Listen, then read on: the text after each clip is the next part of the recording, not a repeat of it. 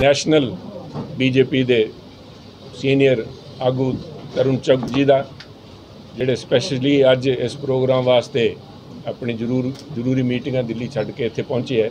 ਮੈਂ ਧੰਨਵਾਦੀ ਹਾਂ ਸ਼ਵੇਤ ਮਲਿਕ ਜੀ ਦਾ, ਮੈਂ ਧੰਨਵਾਦੀ ਹਾਂ ਡਾਕਟਰ ਰਾਜਕੁਮਾਰ ਜੀ ਦਾ, ਸਾਡੇ ਪ੍ਰਧਾਨ ਸੰਧੂ ਸਾਹਿਬ ਦਾ ਤੇ ਨਾਲ ਬੈਠੇ ਸਾਡੇ ਇੰਚਾਰਜ ਚੀਮਾ ਜੀ ਸਾਰਿਆਂ ਦਾ, ਜਿਹੜੇ ਅੱਜ ਇਸ ਪ੍ਰੈਸ ਕਾਨਫਰੰਸ 'ਚ ਤੇ ਅੱਜ ਦੇ ਪ੍ਰੋਗਰਾਮ 'ਚ ਸ਼ਾਮਿਲ ਹੋਏ ਅੱਜ ਦੀ ਜਿਹੜੀ ਤੁਹਾਨੂੰ ਸਾਰਿਆਂ ਨੂੰ ਖੇਚਲ ਦਿੱਤੀ ਹੈ, ਉਹ ਇਸ ਕਰਕੇ ਪੰਜਾਬ ਦੇ ਹਾਲਾਤਾਂ ਦੇ ਉੱਤੇ ਸਰਕਾਰ ਨੂੰ ਜਵਾਬਦੇਹ ਬਣਾਉਣ ਵਾਸਤੇ। ਜਿਨ੍ਹਾਂ ਲੋਕਾਂ ਨੂੰ, ਪੰਜਾਬ ਦੇ ਲੋਕਾਂ ਨੇ ਜ਼ਿੰਮੇਵਾਰੀ ਦਿੱਤੀ ਸੀ, ਸਰਕਾਰ ਨੂੰ ਲਗਾਮ ਪਾ ਕੇ ਰੱਖਣ ਵਾਸਤੇ, ਬੇਲਗਾਮ ਨਗਾ- ਲਗਾ- ਸਰਕਾਰ ਨਾ ਹੋ ਜੇ। ਡੈਮੋਕ੍ਰੇਸੀ ਦੇ ਅੰਦਰ ਆਪੋਜੀਸ਼ਨ ਦਾ ਇੱਕ ਬਹੁਤ ਹੀ ਇੰਪੋਰਟੈਂਟ ਰੋਲ ਹੁੰਦਾ ਹੈ। ਤੁਸੀਂ ਸਾਰੇ ਇਸ ਗੱਲੋਂ ਵਾਕਿਫ ਹੋ। ਉਹ ਰੋਲ ਪੰਜਾਬ ਦੇ ਲੋਕਾਂ ਨੇ ਕਾਂਗਰਸ ਪਾਰਟੀ ਨੂੰ ਦਿੱਤਾ ਸੀਗਾ। ਇੱਕ ਰੈਕਗਨਾਈਜ਼ਡ ਆਪੋਜੀਸ਼ਨ ਪਾਰਟੀ ਅਸੈਂਬਲੀ ਦੇ ਅੰਦਰ ਸੀਗੀ। ਪਰ ਜੋ ਸਮਝੌਤਾ ਕਾਂਗਰਸ ਪਾਰਟੀ ਤੇ ਆਮ ਆਦਮੀ ਪਾਰਟੀ ਦਾ ਪੰਜਾਬ ਦੇ ਅੰਦਰ ਜਿਸ ਤਰ੍ਹਾਂ ਹੋਇਆ ਮੈਂ ਸਮਝਦਾ ਵੀ ਅੱਜ ਇੱਕ ਦਾਤ ਦੇਣ ਦਾ ਮੁਕਾਮ ਬਣਦਾ ਹੈ, ਚਾਹੇ ਸਾਡੇ ਰਾਜਨੀਤਿਕ ਵਿਰੋਧੀ ਹੈ ਪਰ ਪੰਜਾਬ ਦੇ ਮੁੱਖ ਮੰਤਰੀ ਭਗਵੰਤ ਮਾਨ ਜੀ ਨੂੰ ਮੈਂ ਇਸ ਗੱਲ ਦੀ ਦਾਤ ਦੇਵਾਂਗਾ ਵੀ ਚਿੱਤ ਵੀ ਤੁਹਾਡੀ, ਪੱਟ ਵੀ ਤੁਹਾਡੀ, ਸਰਕਾਰ ਵੀ ਤੁਹਾਡੀ ਆਪੋਜੀਸ਼ਨ ਵੀ ਤੁਹਾਡੀ।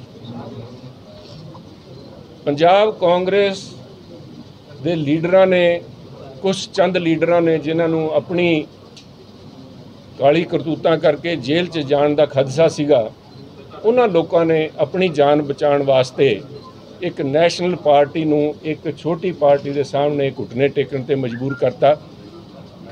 ਪਰ ਇੱਕ ਗੱਲ ਮੈਂ ਬਾਰ-ਬਾਰ ਦੁਹਰਾ ਰਿਹਾ। ਪੰਜਾਬ ਕਾਂਗਰਸ ਨੇ ਗੋਡੇ ਟੇਕਤੇ ਹੋਣੇ ਹੈ ਪਰ ਪੰਜਾਬ ਨੇ ਗੋਡੇ ਨਹੀਂ ਟੇਕੇ, ਪੰਜਾਬੀਆਂ ਨੇ ਗੋਡੇ ਨਹੀਂ ਟੇਕੇ। ਆ ਜਿਹੜੀ ਆਪੋਜੀਸ਼ਨ ਦਾ ਰੋਲ ਹੈ ਆ ਅੱਜ ਪੰਜਾਬ ਦੇ ਲੋਕਾਂ ਵਾਸਤੇ, ਪੰਜਾਬ ਦੇ ਲੋਕਾਂ ਦੀ ਆਸਾਂ, ਉਮੀਦਾਂ, ਉਹਨਾਂ ਦੀ ਆਵਾਜ਼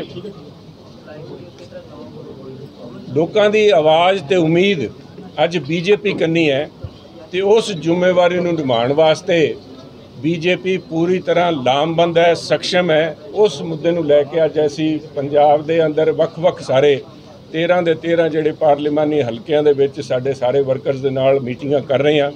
ਉਸੇ ਕੜੀ ਦੇ ਵਿੱਚ ਆਹ ਅੱਜ ਦੀ ਜਿਹੜੀ ਮੀਟਿੰਗ ਹੈ, ਆ, ਇੱਥੇ ਅਸੀਂ ਰੱਖ- ਤੁਹਾਡੇ ਇਸ ਪ੍ਰੋਗਰਾਮ ਦੇ ਬਾਅਦ, ਪ੍ਰੈਸ ਕਾਨਫਰੰਸ ਦੇ ਬਾਅਦ ਸਾਡੀ ਬੀਜੇਪੀ ਦੇ ਕਾਰਜਕਰਤਾਵਾਂ ਦੀ ਇਸ ਅੰਮ੍ਰਿਤਸਰ ਗੁਰੂ ਦੀ ਨਗਰੀ ਦੇ ਜਿਹੜਾ ਪਾਰਲੀਮੈਂਟਰੀ ਹਲਕਾ ਹੈ, ਉਹਦੇ ਸਾਰੇ ਵਰਕਰਾਂ ਨਾਲ ਹੈਗੀ।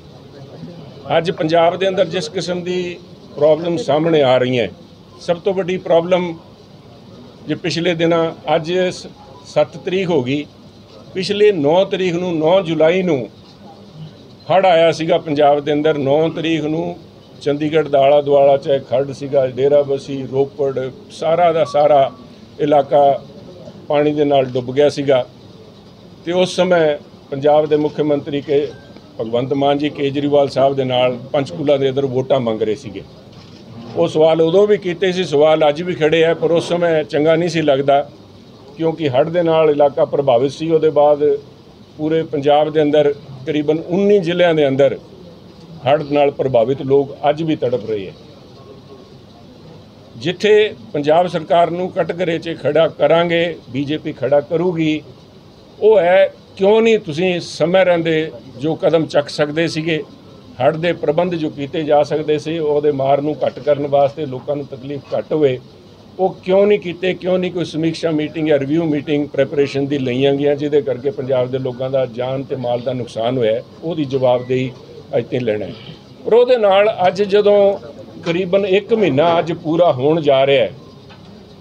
ਭਗਵੰਤ ਮਾਨ ਜੀ ਤੋਂ ਆ ਇੱਕ ਸਾਡਾ ਸਵਾਲ ਜਿਹੜਾ ਹੈ, ਪੰਜਾਬ ਦੇ ਲੋਕਾਂ ਦਾ, ਬੀਜੇਪੀ ਦੇ ਮਾਰਫਤ ਅਸੀਂ ਚੁੱਕ ਰਹੇ ਹਾਂ। ਉਹ ਹੈ ਵੀ ਅੱਜ ਪੂਰਾ 1 ਮਹੀਨਾ ਹੋਣ ਦੇ ਬਾਅਦ ਅੱਜ ਤਾਈਂ 1 ਰੁਪਈਆ ਕਿਉਂ ਨਹੀਂ ਪੰਜਾਬ ਦੇ ਲੋਕਾਂ ਨੂੰ ਵੰਡਿਆ ਗਿਆ?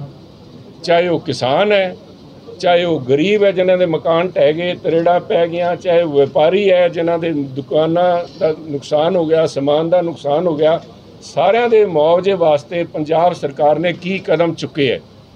ਹੁਣ ਤੋਂ ਪਹਿਲਾਂ ਪਟਵਾਰੀਆਂ ਨੇ ਰੈਵਨਿਊ ਆਫੀਸਰਸ ਨੇ ਈਵਨ ਡੀਸੀ ਸਟਾਫ ਨੇ ਹੜਤਾਲਾਂ ਕਰ ਰੱਖੀਆਂ ਸੀ। ਅੱਜ ਚਾਹੇ ਉਹ ਇੱਕ ਵਾਰੀ ਉਹਨਾਂ ਨੇ ਖੋਲ੍ਹਤੀਆਂ ਇਸੇ ਗੱਲ ਨੂੰ ਮੱਦੇਨਜ਼ਰ ਰੱਖਦੇ ਹੋਇਆ ਵੀ ਪੰਜਾਬ ਦੇ ਲੋਕਾਂ ਨੂੰ ਅੱਜ ਉਹਨਾਂ ਦੀ ਸਰਵਿਸਿਜ਼ ਦੀ ਲੋੜ ਹੈ, ਕਿਉਂਕਿ ਉਹਨਾਂ ਲੋਕਾਂ ਨੇ ਜਾ ਕੇ ਮੁਆਵਜ਼ਾ ਦੇਖ ਕੇ, ਬਣਾ ਕੇ ਕਾਗਜ਼ ਕਾਰਵਾਈ ਕਰਨੀ ਹੈ। ਡੀਸੀ ਆਫਿਸ ਦੇ ਥਰੂ ਮੁਆਵਜ਼ਾ ਜਾਣਾ ਹੈ। ਉਹਨਾਂ ਨੇ ਤਾਂ ਕਰਤਾ ਆਪਣੀ ਹੜਤਾਲ।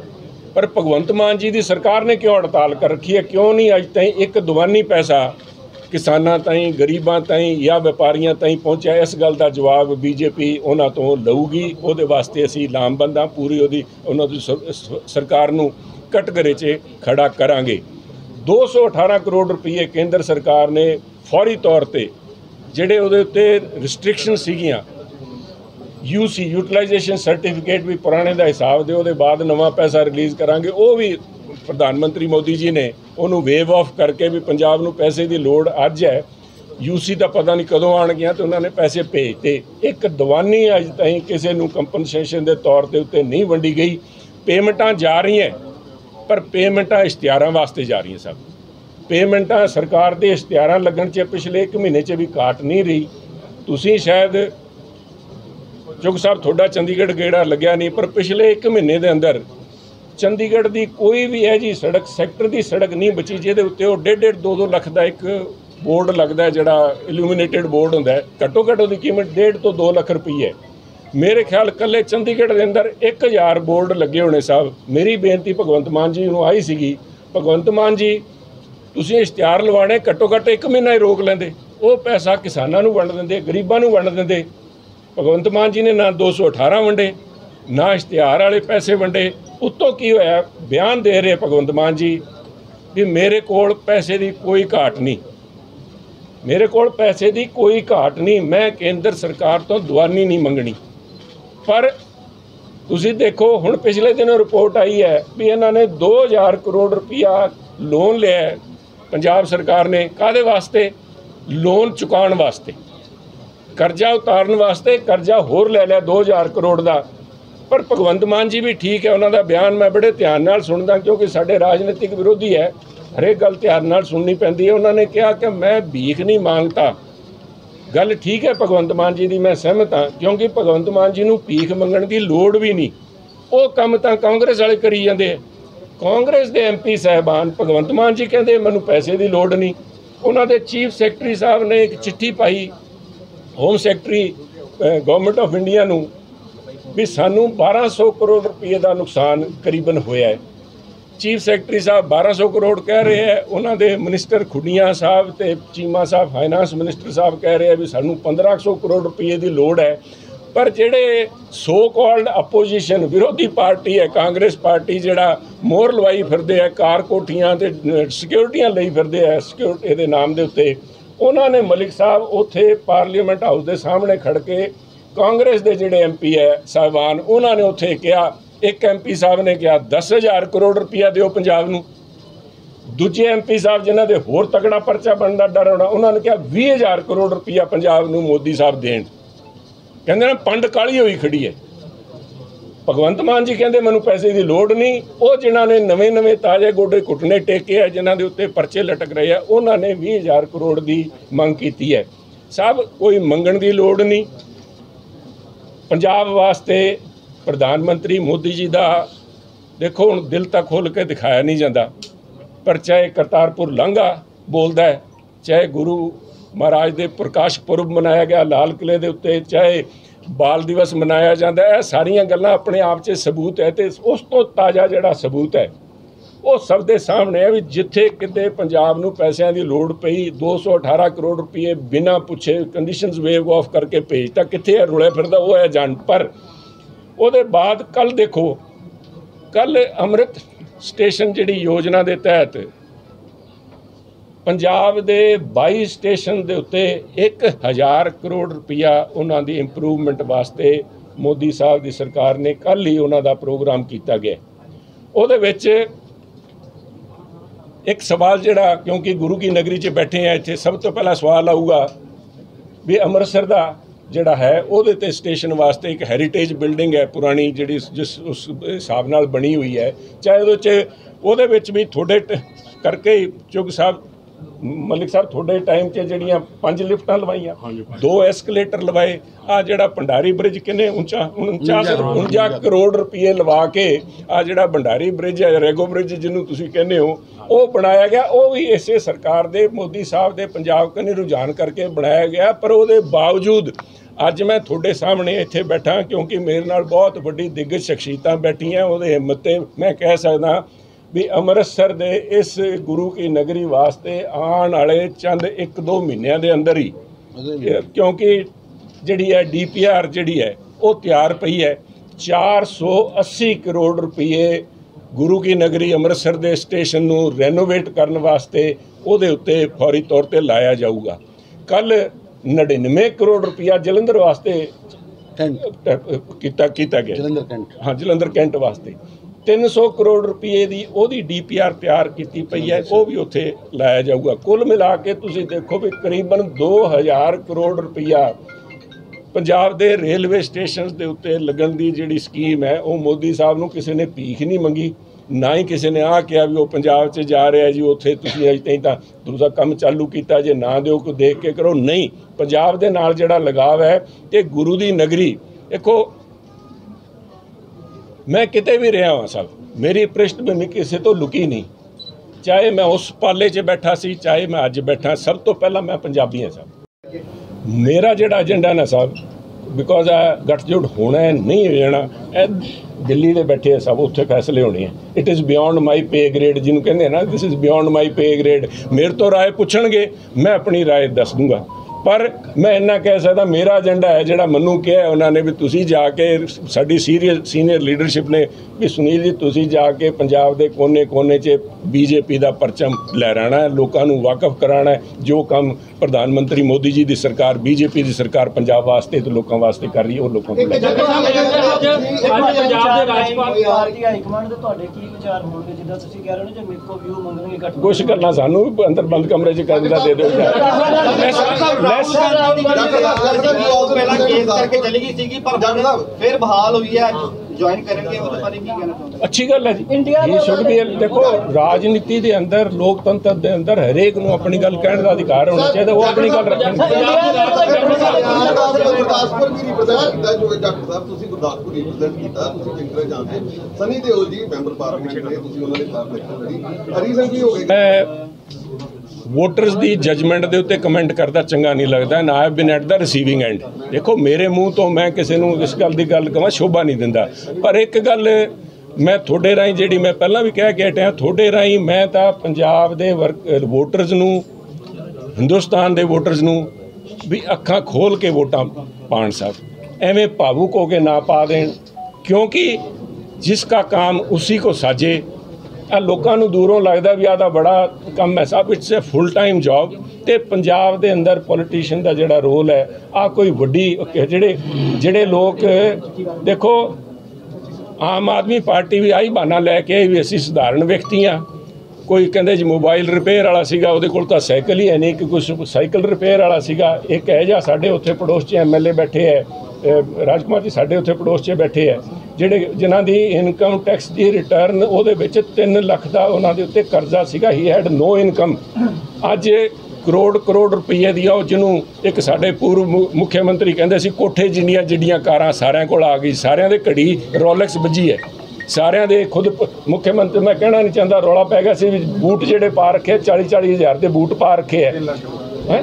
ਤਿੰਨ ਕਹਿੰਦੇ ਡਰ ਲੱਗਦਾ ਸਭ। ਕਹਿੰਦੇ ਲੋਕ ਆ ਕੇ ਵੜ ਗਏ ਜਿਹੜੇ ਕਹਿੰਦੇ ਸੀ ਅਸੀਂ ਸਧਾਰਨ ਘਰਾਂ ਚੋਂ ਉੱਠ ਕੇ ਆਏ ਆ ਸਾਡਾ ਤਾਂ ਕੋਈ ਆਕਾ ਵੀ ਹੈ ਨਹੀਂ ਸੀ ਰਾਜਨੀਤਿਕ। ਉਹ ਵੀ ਲੋਕ ਮੈਂ ਮੈਂ ਕਿਸੇ ਦਾ ਨਾਮ ਮੇਰੇ ਤੋਂ ਨਾ ਲਓ ਜੀ ਮੈਂ ਨਾਮ ਨੂੰ ਦੇਖੋ ਮੈਂ ਉਹਨਾਂ ਦੇ ਵਿੱਚ ਮੈਂ ਸਾਰਿਆਂ ਨੂੰ ਜਾਣਦਾ ਸਭ ਮੈਂ ਇਹਨਾਂ ਸਾਰਿਆਂ ਬੰਦਿਆਂ ਨੂੰ ਮੈਂ ਇੱਕ ਇੱਕ ਇਹਨਾਂ ਦੇ ਪੋਤੜੇ ਫਰੋਣ ਲੱਗਾ ਸਾਰਿਆਂ ਦੇ ਦੱਸਦਾ ਪਰ ਇੱਕ ਇੱਕ ਸੈਕਿੰਡ ਆ ਆ ਕੰਮ ਜਿਹੜਾ ਹੈ ਰਾਜਨੀਤੀ ਦਾ ਨਹੀਂ ਸਾਹਿਬ ਲੋਕ ਅੱਖਾਂ ਖੋਲ ਕੇ ਵੋਟਾਂ ਪਾਣ ਕਿਸੇ ਮੈਂ ਬਹੁਤ ਸਾਲ ਪਹਿਲਾਂ ਆਪਣੇ ਤਜਰਬੇ ਤੋਂ ਕਹਿ ਰਿਹਾ 70 ਸਾਲ ਦਾ ਵੀ ਤਜਰਬਾ ਮੇਰੇ ਕੋਲ ਸਾਹਿਬ 70 ਦਾ ਹੋ ਗਿਆ, ਮੈਂ 69 ਦਾ। ਮੇਰੇ ਪਿਤਾ ਨੇ ਮੈਨੂੰ ਕਿਹਾ ਸੀ, ਕਹਿੰਦਾ, ਬੇਟਾ, ਮੈਂ ਕਿਸੇ ਦੀ ਸ਼ਿਕਾਇਤ ਲਾ ਰਿਹਾ ਸੀ ਵੀ ਆ ਤੁਹਾਡਾ ਜਿਹੜਾ ਦੋਸਤ ਨੇ, ਕਹਿੰਦਾ, ਬੇਟਾ, ਆਪ ਦਾ ਰੱਖੀਏ, ਸੰਭਾਲ ਕੇ, ਅਗਲੇ ਨੂੰ ਚੋਰ ਆਖੀਏ ਨਾ। ਐਵੇਂ ਹੁਣ ਆਪਾਂ ਲੀਡਰਾਂ ਨੂੰ ਨਿੰਦੀ ਜਾਈਏ, ਆਪਾਂ ਚੁਣ ਕੇ ਤਾਂ ਆਪਾਂ ਹੀ ਭੇਜੀਏ ਸਾਹਿਬ ਇਹਨਾਂ ਨੂੰ। ਕਿਹਨੇ ਭੇਜੇ ਹੈ ਆਪਾਂ ਭੇਜੇ ਹੈ ਆ ਕੋਈ ਸੋਸ਼ਲ ਰਿਫਾਰਮ ਦਾ ਪਲੇਟਫਾਰਮ ਨਹੀਂ ਪਰ ਮੈਂ ਬੇਨਤੀ ਕਰੂੰਗਾ ਵੀ ਕੋਸ਼ਿਸ਼ ਕਰੋ ਚੰਗੀ ਤਰ੍ਹਾਂ ਤੋਲ ਕੇ ਵੋਟਾਂ ਪਾਓ ਕਿਉਂਕਿ ਅਸੀਂ ਅਸੂਲਾਂ ਦੇ ਉੱਤੇ ਪੰਜਾਬ ਵਾਸਤੇ ਖੜੇ ਹਾਂ ਸਰ। ਪਰ ਵਿਜੀਲੈਂਸ ਜਿਹੜੀ ਬਹੁਤ ਤੇਜ਼ ਹੈ ਪੰਜਾਬ 'ਚ। ਵਿਜੀਲੈਂਸ ਬਹੁਤ ਤੇਜ਼ ਹੈ ਬਹੁਤ ਸਾਰੇ ਪਰਚੇ ਵਿਜੀਲੈਂਸ ਦੇ ਹੋ ਰਹੇ ਆ। ਮਨਪ੍ਰੀਤ ਬਾਦਲ ਦੇ ਵੀ ਹੋ ਰਹੇ ਸਾਹਿਬ ਪੰਜਾਬ ਦੇ ਰਾਜਪਾਲ ਰਾਜਪਾਲ ਸਾਹਿਬ ਤੇ ਮੁੱਖ ਮੰਤਰੀ ਸਾਹਿਬ ਦੇ ਵਿੱਚ ਟਕਰਾਅ ਚੱਲ ਰਿਹਾ। ਉਹਦੇ ਬਾਰੇ ਕੀ ਇੱਕ ਮਿੰਟ ਇੱਕ- ਇਹਦੇ ਬਾਰੇ ਇੱਕ ਮਿੰਟ ਟਿੱਪਣੀ ਕਰ ਦਿਓ। ਰਾਜਪਾਲ ਬਾਅਦ ਕਰੋ ਜੀ ਇੱਕ ਮਿੰਟ। ਅਮਿਤ ਸ਼ਾਹ ਇੱਕ- ਮਿਲੇ ਸੀ ਉਹ ਵੀ ਬਹੁਤ ਜ਼ਰੂਰੀ ਹੈ ਕਿ ਬੀਜੇਪੀ ਇੱਕ ਮਿੰਟ। ਪਹਿਲਾਂ ਮੈਂ ਇੱਕ ਇੱਕ ਇੱਕ ਇੱਕ ਸਵਾਲ। ਰਾਜਪਾਲ ਸਾਹਿਬ ਦੇ ਮੁੱਖ ਜੀ ਜਮਾ ਗਿਆ ਤਾਂ ਮੈਂ ਸੁਣ ਲਿਆ ਤੁਹਾਡਾ ਸਵਾਲ। ਦੇਖੋ ਇੱਕ ਸੋਚੀ ਸਮਝੀ ਸਾਜ਼ਿਸ਼ ਦੇ ਤਹਿਤ ਇਹ deliberate confrontation situation of confrontation Singh ਫਸਾਣ ਦੀ ਇੱਕ ਸਾਜ਼ਿਸ਼ ਰਚੀ ਗਈ ਹੈ ਚਾਹੇ ਦਿੱਲੀ ਹੈ ਚਾਹੇ ਇੱਥੇ ਹੈ ਆ ਜਿਹੜਾ ਜੋ ਕੁਝ ਹੋ ਰਿਹਾ ਹੈ it is unfortunate because it is avoidable ਮੁੱਖ ਮੰਤਰੀ ਸਾਹਿਬ ਹੁਣ ਕਾਲਜ 'ਚ ਨਹੀਂ ਬੈਠੇ ਮੁੱਖ ਮੰਤਰੀ ਸਾਹਿਬ ਕੋਈ ਹੁਣ ਜਵਾਕਾਂ ਵਾਲੀ ਲੜਾਈ ਨਹੀਂ he is in a responsible position ਉਹ ਇਸ ਪੰਜਾਬ ਦੇ ਮੁਖੀਆ ਹੈ ਵਟਐਵਰ ਹੀ ਸੇਜ਼ ਜਿਹੜੀ ਭਾਸ਼ਾ ਜਿਹੜੇ ਲਹਿਜੇ 'ਚ ਬੋਲਦੇ ਆ, ਪੰਜਾਬ ਦੇ ਉੱਤੇ ਰਿਫਲੈਕਟ ਕਰਦੀ ਹੈ। ਤੇ ਮੇਰਾ ਅੱਜ ਵੀ ਉਹਨਾਂ ਨੂੰ ਇੰਨੀ ਆਈ ਐਮ ਨੋਬਡੀ ਕਹਿੰਦੇ unwelcome advice is not welcome but ਉਹਨਾਂ ਨੂੰ ਚਾਹੀਦਾ ਹੈ ਜ਼ਿੰਮੇਵਾਰੀ ਨਾਲ ਗੱਲ ਕਰਨ। ਆ ਜਿਹੜਾ ਤੂੰ ਤੂੰ ਮੈਂ ਮੈਂ ਕਰ ਰਿਹਾ ਹੈ ਉਸ- ਜਿਸ ਗੱਲ ਦਾ ਉਹਨਾਂ ਨੂੰ ਗਵਰਨਰ ਸਾਹਿਬ ਨੂੰ ਇਸ ਗੱਲ ਦਾ ਠੇਸ ਪਹੁੰਚੀ ਹੈ ਆ ਮਸਲੇ ਬੈਠ ਕੇ ਸੁਲਝਾਏ ਸਕਦੇ over a cup of tea ਦੂਜੇ ਪਾਸੇ ਜਾ ਕੇ ਆਮ ਗੱਲ ਕਰਦੇ ਆ ਉਹਦੇ ਵਾਸਤੇ ਉਹਨਾਂ ਨੂੰ ਚਾਹੀਦਾ ਹੈ ਕਿ ਆ ਟਕਰਾਵ ਖਤਮ ਹੋਣਾ ਚਾਹੀਦਾ। ਮੁਲਾਕਾਤ ਵੀ ਕੀਤੀ ਬੀਜੇਪੀ ਤੇ ਇੱਕ ਵੱਡਾ ਇਲਜ਼ਾਮ ਲੱਗ ਰਿਹਾ ਕਿ ਐਂਟੀ ਸਿੱਖ ਹੈ ਜਾਂ ਚਾਹੇ ਖਾਲਸਾ ਏਡ ਦਾ ਇਸ਼ੂ ਹੋਵੇ ਉਹਦੇ ਬਾਰੇ ਥੋੜਾ ਜਿਹਾ ਸਭ ਐਂਟੀ ਸਿੱਖ ਵਾਲਾ ਇੱਕ ਭ੍ਰਾਂਤੀ ਲੋਕਾਂ ਨੇ ਫੈਲਾਈ ਹੈ ਮੈਂ ਹੁਣੇ ਕਹਿ ਗਿਆ ਆ ਲਾਂਘਾ ਕਿਹਨੇ ਖੁਲਾਇਆ ਸਭ? ਬੀਜੇਪੀ ਨੇ ਖੁਲਾਇਆ ਹੋਣਾ ਆ ਜਿਹੜਾ ਗੁਰੂ ਤੇਗ ਬਹਾਦਰ ਜੀ ਦਾ ਜਿਸ ਲਾਲ ਕਿਲੇ ਤੋਂ ਛੜ ਕੇ ਚੜ ਕੇ ਮੁਗਲਾਂ ਨੇ ਆਰਡਰ ਦਿੱਤਾ ਸੀ ਵੀ ਉਹਨਾਂ ਦਾ ਸ਼ਹਾਦਤ ਕੀਤੀ ਜਾਵੇ, ਤਸ਼- ਤਸ਼ੱਦਦਾਂ ਕੀਤੀਆਂ ਜਾਣ, ਤਤੇ ਤਵਿਆਂ ਦਾ ਬਿਠਾਇਆ ਜਾਵੇ, ਉਹਦੇ ਉੱਤੇ ਕੀ ਦਾ ਪ੍ਰਕਾਸ਼ ਪੁਰਬ ਮਨਾਇਆ ਗਿਆ? ਗੁਰੂ ਮਹਾਰਾਜ ਦਾ ਮਨਾਇਆ ਗਿਆ। ਹੁਣ ਜੇ ਅੱਜ ਵੀ ਇਲਜ਼ਾਮ ਲੱਗਦੇ ਹੈ, ਪਰ ਜਿਹੜਾ ਕੰਮ ਗਲਤ ਹੈ ਗਲਤ ਹੈ ਕਿਉਂਕਿ ਖਾਲਸਾ ਏਡ ਦਾ ਇੱਕ ਮਸਲਾ ਨਹੀਂ ਸਭ। Khalsa Aid over a period of time has proven itself ਉਹਨਾਂ ਨੇ ਦੇਸ਼ ਦਰਾੜੇ ਕਿਤੇ ਵੀ, ਜਿੱਥੇ ਕਿਤੇ ਵੀ ਹੈ, ਉਹਨਾਂ ਨੇ ਜਾ ਕੇ ਪੰਜਾਬੀਅਤ ਨੂੰ ਰਿਫਲੈਕਟ ਕੀਤਾ ਹੈ। ਜਿਸ ਤਰ੍ਹਾਂ ਮੈਂ ਭਗਵੰਤ ਮਾਨ ਜੀ ਨੂੰ ਕਹਿ ਰਿਹਾ ਵੀ ਅੱਜ ਉਹ ਪੰਜਾਬ ਦੇ ਮੁਖੀਆ ਹੈ। ਉਹਨਾਂ 'ਚ 100 ਕਮੀ ਪੇਸ਼ੀ ਬ- ਖੂਬਸੂਰਤੀ 100 ਉਹਨਾਂ ਦੇ ਵਿੱਚ ਕਾਬਲੀਅਤਾਂ ਹੋਣੀਆਂ ਬਟ ਹੀ ਰਿਫਲੈਕਟਸ ਪੰਜਾਬ। ਉਸੇ ਤਰ੍ਹਾਂ ਖਾਲਸਾ ਏਡ ਨੇ ਪੰਜਾਬੀਅਤ Khalsa aid represents the ethos of Punjab ਸੇਵਾ ਭਾਵਨਾ ਉਹਨੂੰ ਮੱਦੇ ਨਜ਼ਰ ਰੱਖ ਕੇ ਕੋਈ ਜਿਹੜਾ ਮੈਂ ਆਪਣੇ ਉਸ ਖਿਆਲ ਰੱਖੇ ਸੀਗੇ ਹੋ ਸਕਦਾ ਹੈ ਕੋਈ ਨਾ ਕੋਈ ਸਾਡੇ ਪੜੋਸੀ ਮੁਲਕ ਦੇ ਲੋਕ ਇਨਫਿਲਟਰੇਟ ਕਰਨ ਦੀ ਕੋਸ਼ਿਸ਼ ਕਰਨ ਉਹਨਾਂ ਦੀ ਆੜ ਦੇ ਅੰਦਰ ਉਹਨਾਂ ਦੇ ਅੰਦਰ ਇੱਕ ਇੰਸਟੀਟਿਊਸ਼ਨ ਦੇ ਅੰਦਰ ਫ਼ਰਕ ਰੱਖਿਆ ਜਾਵੇ। ਆਹ ਮੈਂ ਉੱਥੇ ਬੇਨਤੀ ਕੀਤੀ। ਹੈ ਥੈਂਕ ਯੂ ਜੀ।